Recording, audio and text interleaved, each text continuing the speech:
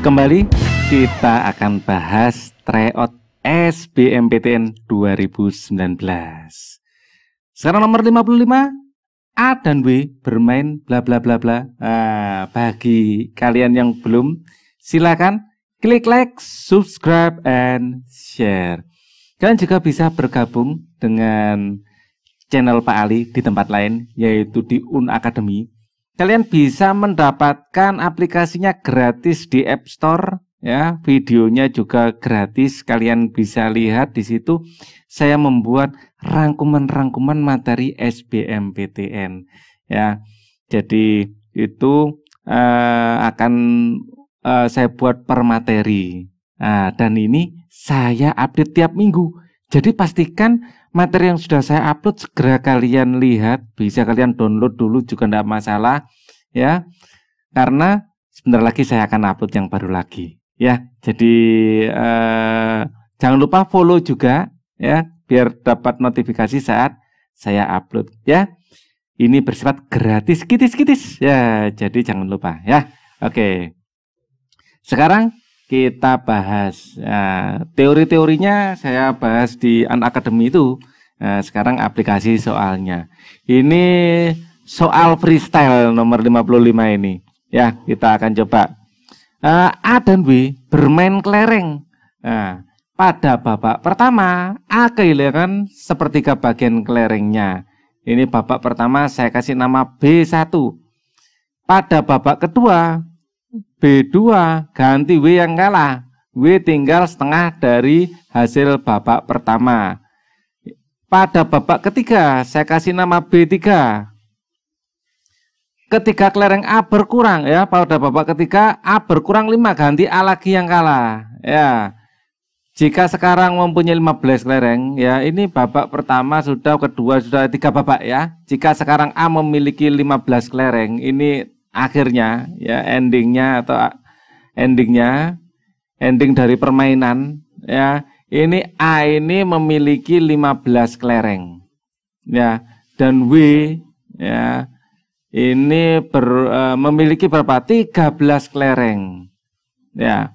Maka selisih kelereng mereka mula-mula lah startnya berapa ya selisih saat start. Oke kita akan bahas satu persatu. Biar mudah, kita justru akan bahas dari babak tiga dulu. Ya, babak tiga saya kasih warna merah. Ya, ini babak tiga.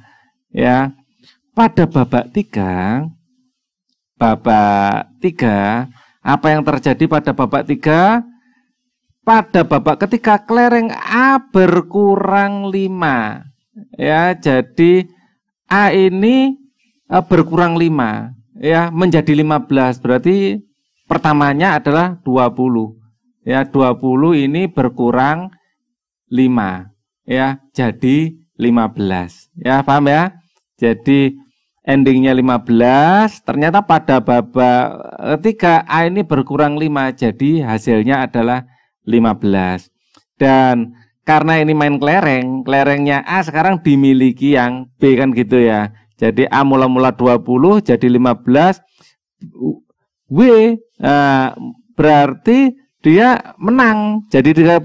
Nah, sebelum menang dia mendapatkan 5 toh.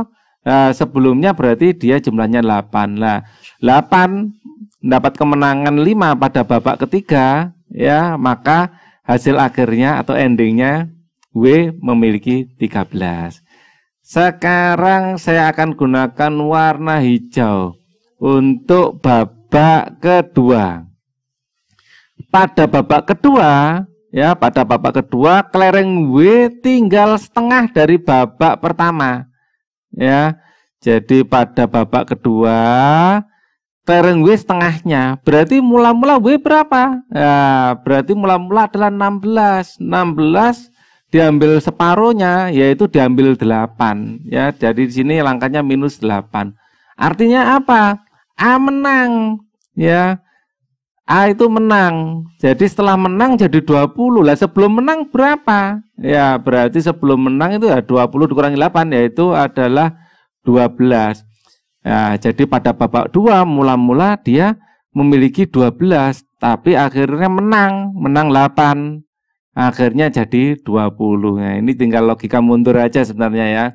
Terus kemudian kita bahas babak pertama. Pada babak pertama A kehilangan sepertiga bagiannya. Ya.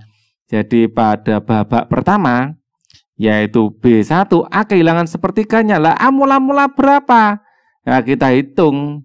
Ya, setelah kehilangan sepertiganya itu jadi 12. Jadi saat A kehilangan satu per 3 dari A, ini nanti hasilnya 12 lah. A mula-mula berapa? Nah, itu kita hitung.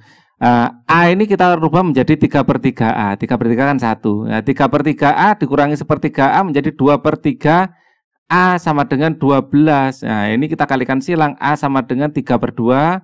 Ya, ini 2 per 3 kali, uh, dipindah ruas jadi 3 per 2 ya. 3-nya naik ke atas, 2-nya turun.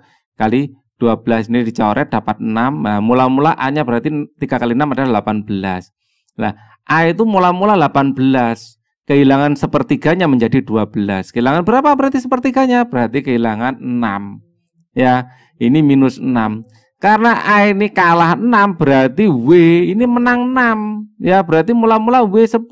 Setelah menang 6, ya ternyata plus 6 ternyata dia memiliki 16. Jadi ini adalah kondisi awal kondisi awal.